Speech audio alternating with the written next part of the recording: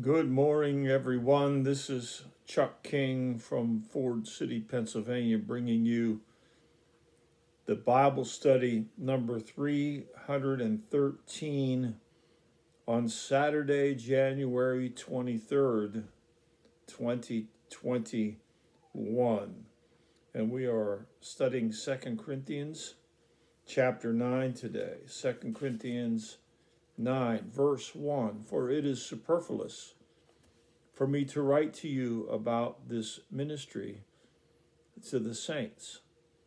For I know your readiness, of which I boast about you to the Macedonians, namely that Achaia has been prepared since last year, and your zeal has stirred up most of them. So Paul uh, continues to talk about this uh, this offering that's being raised for the churches in Jerusalem, the poor people suffering at that time, and Paul was raising this international missions offering, and including uh, the churches from different nations, and in this case we're talking about the Corinthian church, and how Paul had bragged or boasted to the Macedonians. Remember, the Macedonians were the very impoverished and, and persecuted believers who were willing willing to give, even though they had so little. And Paul was bragging to them about the Corinthians, telling them that it's been a whole year since the churches in Achaia. That's that's where Corinth is or was. And uh, and how zealous they were, and the, the, the testimony of the zeal of the Corinthians to give toward this this mission project to help the poor in Jerusalem stirred up the Macedonians to the point where they they were willing to sacrificially and generously give though they had so little. Verse 3 But I have sent the brethren in order that our boasting about you may not be made empty in this case, so that as I was saying, you may be prepared. So he tells the Corinthians he sent sent a team to them, or sending a team to them, so that they would actually collect the offering, so that their boast wouldn't be empty, but they would actually give. And so uh, this is perhaps uh, what we were reading in the last chapter of First Corinthians, how at the beginning of of chapter 16, how Paul encouraged them to lay aside offerings on the first day of the week so it all would be gathered up so they wouldn't have to collect it when when they they came there. It seems like that was the same offering he was referring to. Verse 4 otherwise if any macedonians come with me and find you unprepared we not to speak of you will be put in shame by this confidence. So if uh, Macedonians came along with the team to collect the money from Corinth to take to Jerusalem, and Corinth uh, didn't have any money to give, they would be embarrassed by that, of course. Verse 5 So I thought it necessary to urge the brethren that they would go on ahead of to you and arrange beforehand your previously promised bountiful gift, so that the same would be ready as a bountiful gift and not affected by covetousness. So he's he wants them to follow through. Apparently, they had they had promised a, a nice, bountiful offering, and so Paul's sending the team to arrange for that, and that that covetousness or or wanting to hold back the money would not affect their offering. Verse 6. Now this I say, he who sows sparingly will also reap sparingly, and he who sows bountifully will also reap bountifully.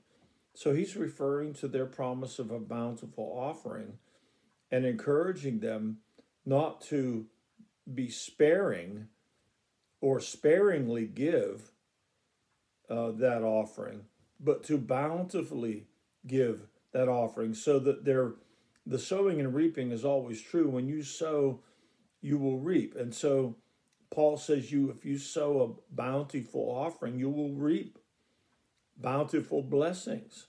And the opposite is true. If you sow sparingly, your your uh, reaping will be sparingly. Verse 7 Each one must do just as he has purposed in his heart, not grudgingly or under compulsion, for God loves a cheerful giver. So people should not give offerings for the poor. And that's what we're talking about here. We're not talking about offerings to support workers, although many of them uh, at that time, especially, were poor as well. The ones sent out with the the, the financial support of the church, which is uh, what Jesus and the apostles taught that the workman was worthy of his hire. As he sows spiritual things, he should reap uh, physical things or support. We're not talking about that. We're talking about the giving to the poor because they are suffering in, in their poverty.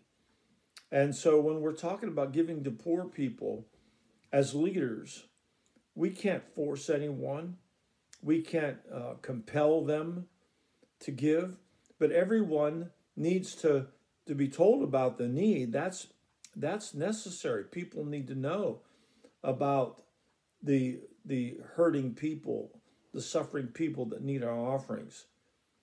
But then they should not they should not feel uh, compelled or forced to give, but they should give not grudgingly or not because someone uh, basically uh, pried it out of their closed fist, but they should give as a cheerful giver. And here's that scripture that I love to quote people for God loves a cheerful giver. He wants us to give with the motive of joy and love to, to serve the other people and, and to glorify Him. Remember, the Bible says when we give to the poor, we lend to the Lord, and He rewards those who give. So we know that we are laying up treasure in heaven by giving to the least of these. And even though we give of our our natural material substance and it costs us something to do so, we are actually putting that that uh, gift to the poor in a very safe place in our account in heavenly places. That's what the Bible teaches. God loves a cheerful giver.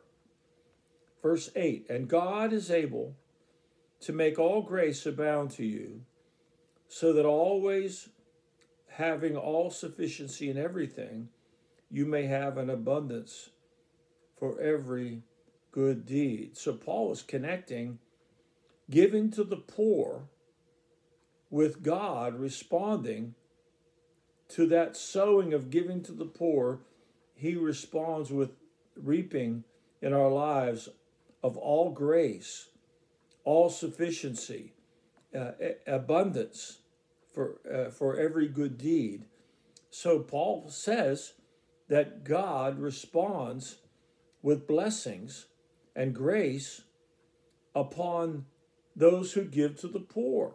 I mean, that's clear from the context here.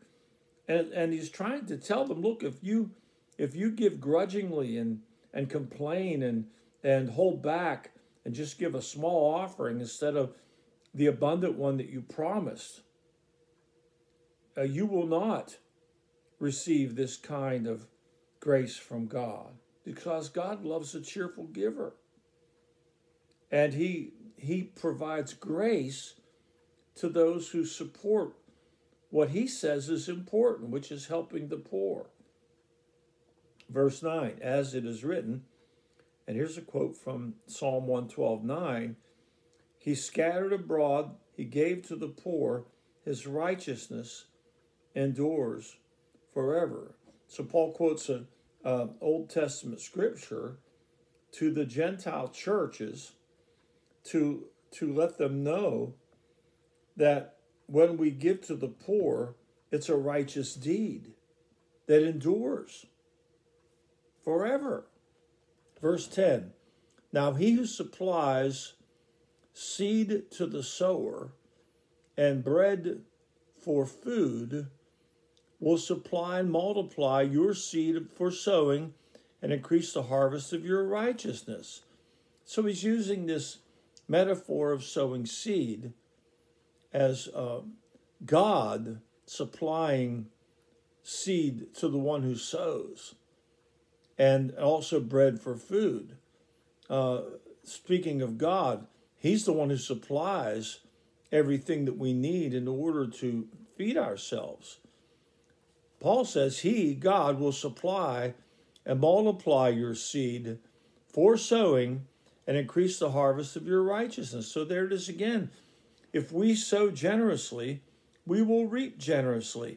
And part of that reaping is God pouring out his grace upon us, as Paul says in verse 8, for all sufficiency, for abundance in every good deed. That God responds to the cheerful giver and, and the generous giver. Verse 11 You will be enriched in everything for all liberality, which through us is producing thanksgiving to God. So he keeps going here. God will enrich us in, in, in everything liberally.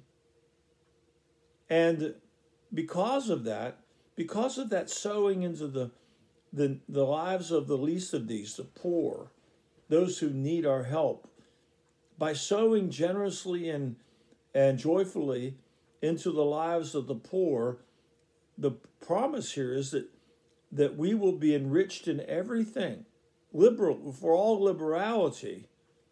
And, and this produces thanksgiving to God. So now he closes out this chapter uh, by, by sharing the, the chain reaction, you might say, that occurs when we become cheerful givers. When we become cheerful givers to the poor, God responds by pouring out into our lives abundant grace and provision. That's not why we do it. It's not this isn't the teaching of the false teachers that, that preach if you give a thousand dollars to my ministry, you'll you'll be out of debt and you'll receive tenfold that those those kinds of twisted teachings of, of, of material prosperity. No, we're talking about a motive that is of love and service to the poor, cheerful giving. Uh, God loves a cheerful giver. And we know that from the other scripture, Paul teaches us the Lord said it is more blessed to give than to receive. So there's a great blessing in giving to those in need. And I've already taught about don't give your gifts to the rich. That's a sure way to, to become impoverished because God will not, God in His Word says He won't bless that. But when we give to the poor, we lend to the Lord and He rewards us.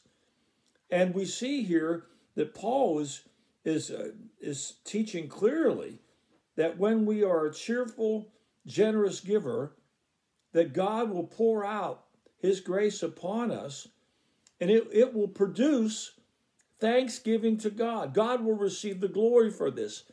Let's read the last few verses. Verse 12 For the ministry of this service, meaning the offerings to the poor who need help, is not only fully supplying the needs of the saints, in this case it would be in Jerusalem, but is also overflowing through many thanksgivings to God. So by giving to the poor, we supply their needs, which is very important, but also causes God to be glorified. Many thanksgivings are, uh, are poured out as incense before the throne of God. Verse 13, because of the proof given by this ministry, because you've actually done it, you've given the money and we've delivered it, they, meaning the poor, will glorify God for your obedience to your confession of the gospel of Christ and for the liberality of your, of your contribution to them and to all. So you see the process?